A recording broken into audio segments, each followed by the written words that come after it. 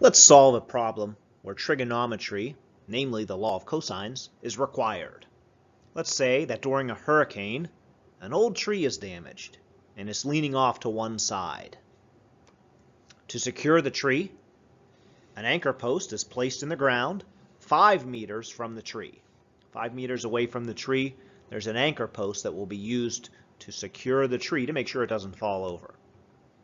A nine meter rope is attached to, to this anchor post and it's wrapped around the tree. So I have a nine meter rope that's attached to the tree and the anchor post and it's wrapped around the tree six meters from the base of the tree.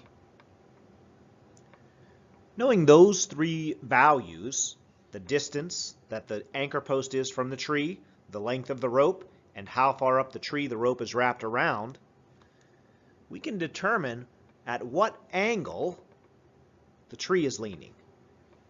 Angle theta in this diagram. Let's do it now. In this situation, we can represent the leaning tree and the rope attaching it to the ground as a triangle. And in this triangle, we know the lengths of all three sides. And when you know the lengths of all three sides of a triangle, you can find the measure of any angle using the law of cosines.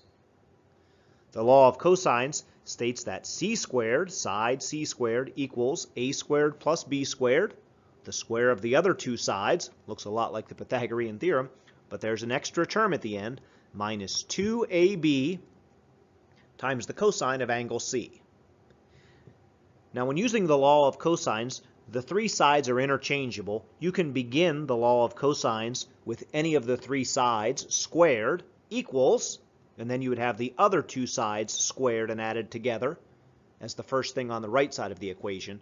But when using the law of cosines, the angle that you take the cosine of at the end is across from the side that is squared on the left side of the equation. So in this situation, since we want to find angle theta, we'll start our law of cosines with 9 squared.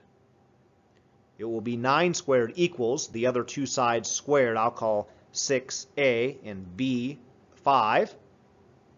And then I'll end with the cosine of angle theta. So the version of the law of cosines that I'll use here is 9 squared.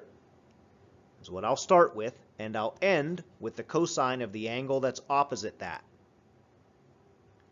Equals the other two sides squared and added together, 6 squared plus 5 squared, minus 2 times 6 times 5 times, again, the cosine of angle theta. Now at this point, I, I think the hard work is done. We've taken the problem, made a diagram, and applied the law of cosines. The rest of the problem will just be doing the arithmetic and the algebra to isolate angle theta in this equation. We'll do that by first squaring 9 81. 6 squared is 36, and 5 squared is, of course, 25. And when you add 36 and 25, we get 61. And the product of 2, 6, and 5 is 60. The next step in the process of isolating the cosine of angle theta, and eventually angle theta, would be to subtract 61 from both sides of the equation. And 80 minus 61 is 20 which we now have as equal to negative 60 times the cosine of angle theta. Let's isolate the cosine of angle theta by dividing both sides by negative 60.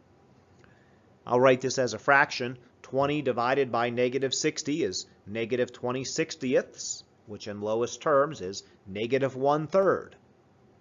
So the cosine of angle theta is equal to negative 1 third. And if the cosine of theta is negative 1 third, then theta is the inverse cosine of negative one-third. So we've now isolated angle theta in this equation. And if we take the inverse cosine of negative one-third to the nearest tenth in degrees, we get 109.5 degrees. And that's the angle at which this tree is leaning, 109.5 degrees.